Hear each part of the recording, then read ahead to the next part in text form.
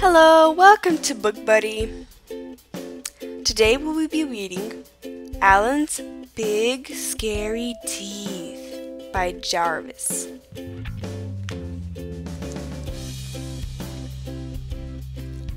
Alan came from a long line of very scary alligators. He was known throughout the jungle for his scaring. It was what he did best. Alan would start each day polishing his scales, sharpening his nails, and brushing each of his big scary teeth for at least 10 minutes at a time. And after practicing his frightening faces in the mirror,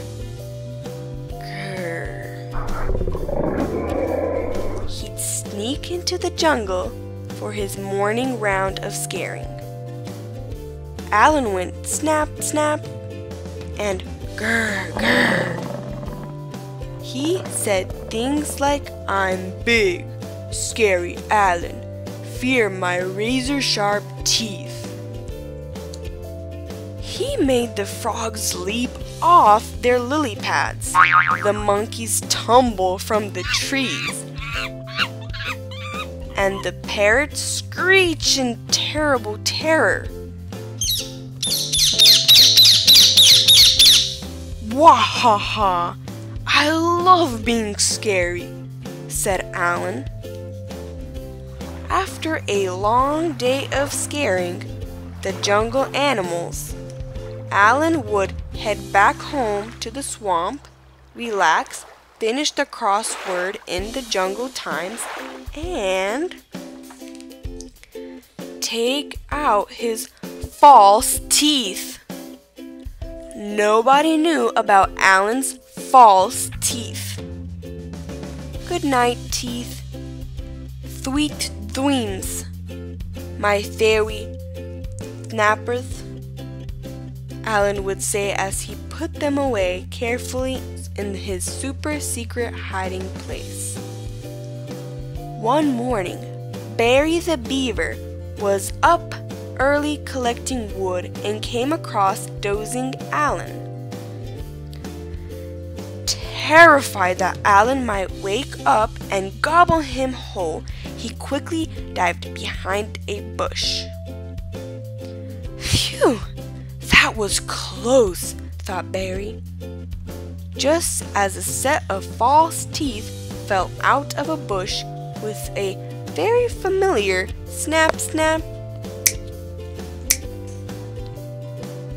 When Alan awoke, his teeth were gone.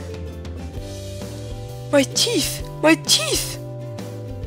Where's all my teeth? What could he do? Maybe no one would notice. Could he still be scary without teeth? He decided to head into the jungle as usual.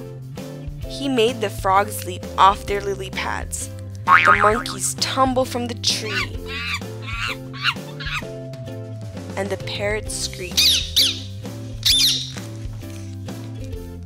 With laughter. Alan just wasn't very scary without teeth. Alan slunk back to the swamp.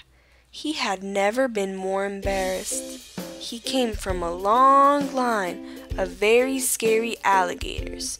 Scaring was all he'd ever known. What would Alan do now? Poor Alan began to cry. Just a bit at first. But then the tears kept coming.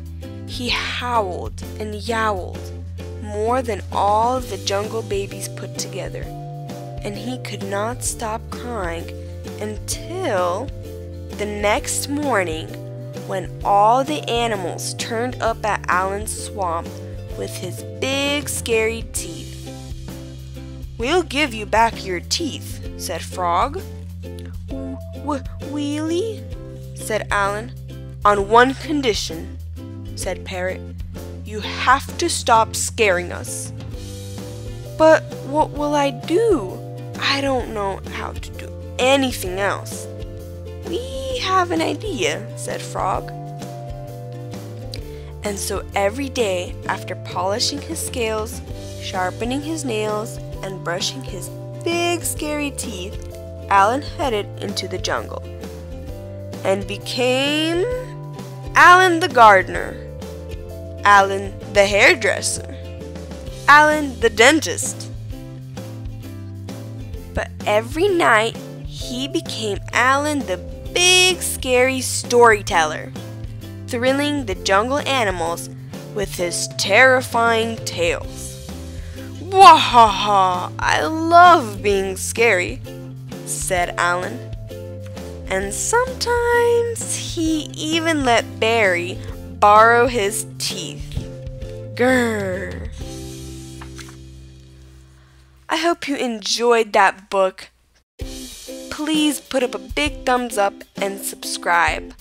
Also, comment down below what other book would you like us to read next.